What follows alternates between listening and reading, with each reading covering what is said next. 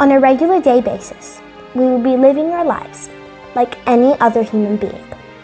We would wake up, have breakfast, go to school, play with our friends, and we would be having a fascinating day. Now, stay with me and close your eyes. Imagine yourself sitting in front of your school in the dark, nebulous night, unaccompanied, with no food, water, shelter, electricity, or internet.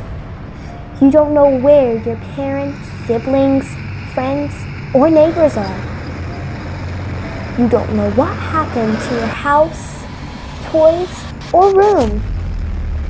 You can hear nothing but the sounds of bombs destroying your native land and citizens crying for help. Many children in Palestine live like this every day, right now, when others are doing nothing to stand up for these innocent people. Save Gaza. Long live Palestine.